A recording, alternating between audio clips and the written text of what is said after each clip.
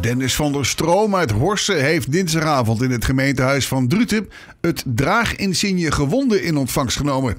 Dat is een ereteken voor militairen en veteranen die lichamelijk of psychisch gewond zijn geraakt tijdens een vredesmissie of militaire operatie. Van der Stroom voelt zich vereerd met zijn medaille. Hij betekent momenteel betekent hij heel erg veel voor, voor me. Uh, zeker door wat ik uh, afgelopen week een persoonlijke crisis heb doorgemaakt.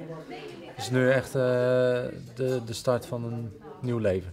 Ik ken Lucien al een tijdje eigenlijk, sinds dat ik in de gemeente ook, ook woon. We hebben een beetje een ja, een vriendschappelijke hij kan wel altijd uh, met vragen, met alles bij me terecht. En ik vind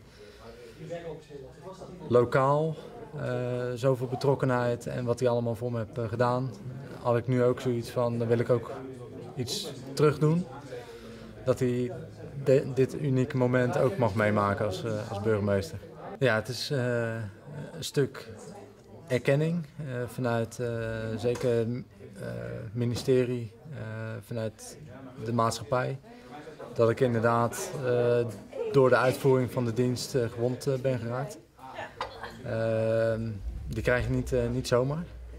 Ehm, het gaat door een hele commissie heen die beoordeelt inderdaad of de dingen die je hebt meegemaakt ook daadwerkelijk zo zijn gebeurd. Waardoor je ook de psychische klachten eraan over hebt gehouden. Want ja, psychisch is niet zichtbaar. aan mij zie je verder niet dat ik gewond ben geraakt fysiek. Ehm, ja, de onzichtbare verwonding is eh, onzichtbaar.